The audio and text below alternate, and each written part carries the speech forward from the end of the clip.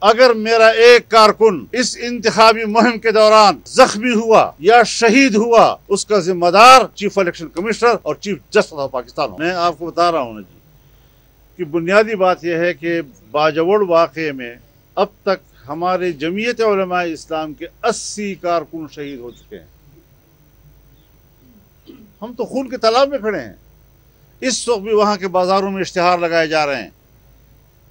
کہ یہ ڈیموکریسی کی بات کرنے والے کافر ہیں، ان کی جب سے بھی جائے تو لوگ احتیاط سے جائیں ہمیں ان حالات کا سامنا ہے۔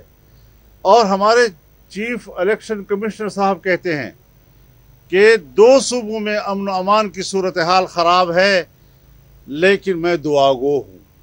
کیا دعا گو ہے؟ ان کو تین ججوں نے بلایا۔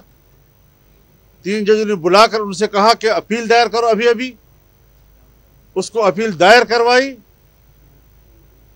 عشاء کے وقت کورٹ کھولی گئی۔ تین جج بیٹھے، ان کو کہا کہ اپیل دائر کرو۔ اس نے اپیل دائر کی اور ان کو اسی وہ حکم دیا کہ ابھی ابھی شیڈول جاری کرو۔ اگر چیف الیکشن کمشنر نے اور الیکشن کمیشن نے شیڈول جاری کرنا ہے اور سپریم کورٹ کے حکم پہ کرنا ہے، تو الیکشن کمیشن کب آزاد ادارہ ہوا؟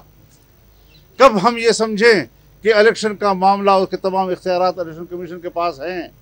اگر میرا ایک کارکن اس انتخابی مہم کے دوران زخمی ہوا یا شہید ہوا اس کا ذمہ دار چیف الیکشن کمشنر اور چیف جسٹس آف پاکستان ہوگا۔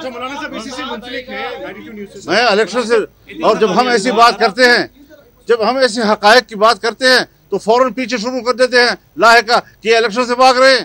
الیکشن کے لیے میں نے ساڑھے تین سال جنگ لڑی ہے میں الیکشن کا طلبگار ہوں لیکن کیا مجھے الیکشن یہ حق نہیں پہنچتا کہ میں الیکشن مانگوں اور الیکشن کا ماحول بھی کا مطالبہ بھی کروں